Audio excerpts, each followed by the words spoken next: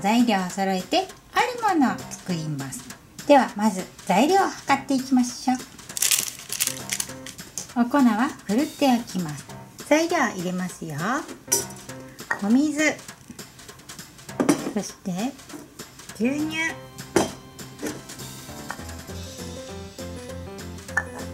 そして溶かしたバター。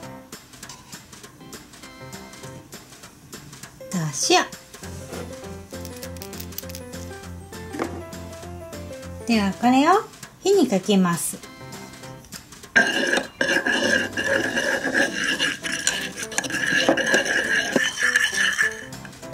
そして沸騰したら粉を一度に加えます。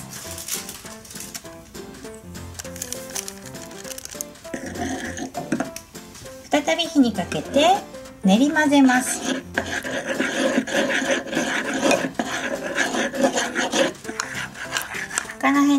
しょうではボウルに移し替えます。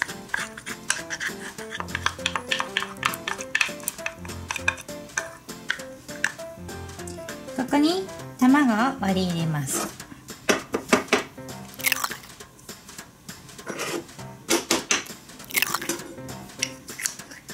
そして練り混ぜます。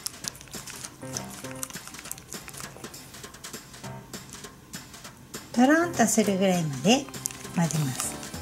天板にクッキングシートを敷きましょう。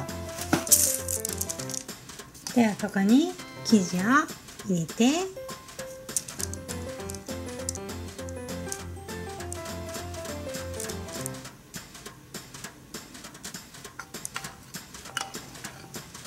ここに霧吹きでお水をかけます。十分にかきますよ。温めておいたオーブンで焼きますよ。茹でましょう。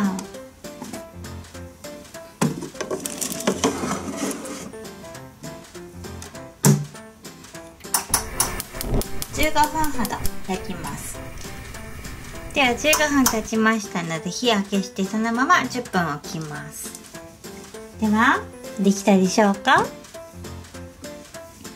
熱いので気をつけましょうね。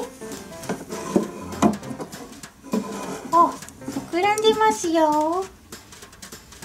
では十分に膨らんだので半分に切りましょうね。切りましたよ。ではこちらも。切りましたよ。ではこれにクリームを挟みますよ。そして蓋をしましょう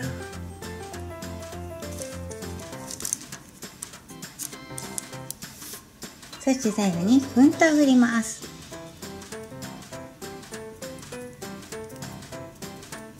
仕上がりです。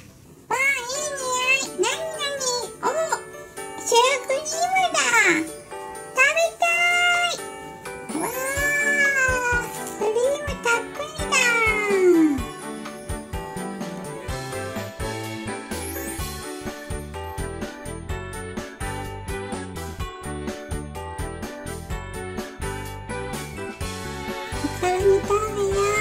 いただきます。